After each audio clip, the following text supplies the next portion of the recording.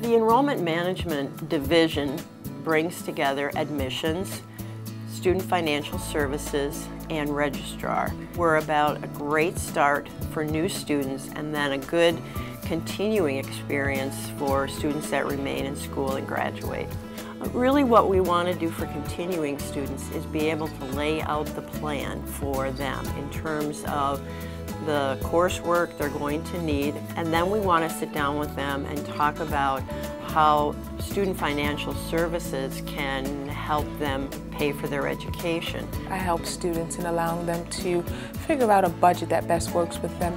I think that the students appreciate the fact that they can come in and have a one-on-one -on -one consultation with any one of the advisors. We treat them as a family and we want to see them advance to the next level. We have a number of workshops that we offer as well as tutoring in writing skills, in math skills. We have also a mentoring program and the mentor is a student who's farther along in their program. The thing that Metropolitan College does very well is the implementation of our constructive action.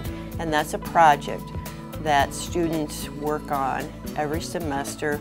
It integrates their learning with the real world. Um, we believe in meeting the students halfway because not only are they here as our customers, but we also are here to give them the best service and give them the best education that we can provide and that their college experience here is one of the best experiences of a lifetime.